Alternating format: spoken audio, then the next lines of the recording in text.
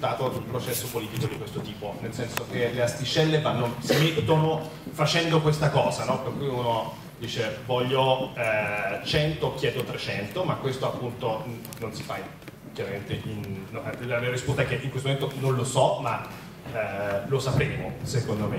No, credo che un, un, modo di guardare questa cosa sia guardare, stavo pensando prima, no, anche sentendo eh, pezzi di interventi degli altri, cioè ci sono un po' quattro assi di, di, di lavoro da portare avanti insieme. No? Cioè, uno sicuramente è quello della ricerca, perché eh, se, in realtà siamo convinti di sapere tanto, in realtà più eh, chi, chi, ne sa tanto ti dice non sappiamo niente, cioè sappiamo poco se non altro. Eh, chi, cos'è un grande proprietario ad esempio? No? Io sono sempre rimasto sconvolto su Milano da questa cosa qua, cioè avere diciamo, una bella ricerca del, del, Politecnico su questa cosa qua, però diciamo, sapere chi sono e cosa sono i grandi proprietari eh, immobiliari in una città come Milano, ma credo valga ovunque, è estremamente difficile, estremamente complesso, magari i dati ci sono, magari si trovano male, ma poi vanno anche studiati, cioè non basta semplicemente il numeretto. Quindi c'è da fare sicuramente molta più, molta più ricerca, no? e da questo punto di vista c'è sia quella hardcore, mettiamola così, sia il pezzo della terza missione dell'università che credo in questo momento sia fondamentale. La terza missione è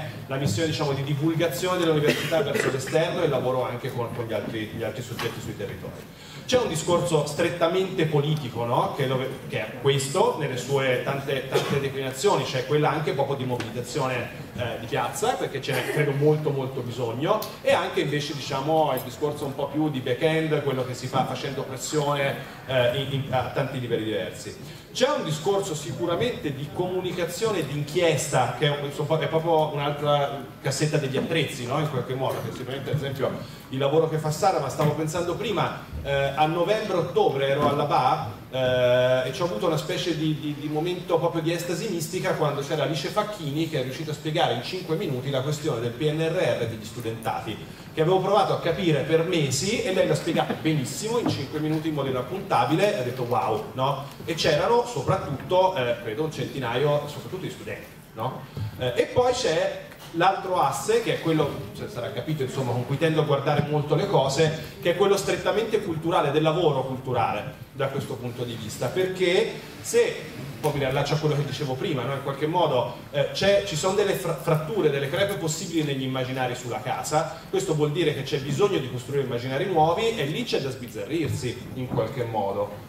Cosa vuol dire? Eh, ad esempio, eh, c'è da fare letteratura, c'è da fare saggistica, c'è da fare science fiction ad esempio. No? Una mossa molto intelligente rilacciandomi al discorso sugli eh, attivisti per il clima che è stata fatta nell'ultimo decennio è quella del solar punk, no? quindi la fantascienza che si immagina futuri ecosostenibili dove l'energia viene rinnovabile eccetera eccetera. Eh, forse ci si può immaginare anche, non so, un house punk, non so come dire, una fantascienza o in generale dei lavori di immaginario che vanno a, a proiettare nuovi mondi dell'abitare possibile. Questo si fa con la letteratura, col teatro, con i fumetti eh, e ultimo pezzo su questa cosa qua, mi riallaccio, sono molto, ovviamente molto molto d'accordo con quello che diceva adesso Alessandro, no? sulla necessità di eh, pensare con, al respiro molto ampio dal punto di vista territoriale eh, e quindi anche non solo, do, cioè le città non finiscono mai dove c'è il comune, ma cioè, c'è l'area metropolitana e poi c'è quella espansa ancora di più però perché possa succedere questa cosa c'è bisogno anche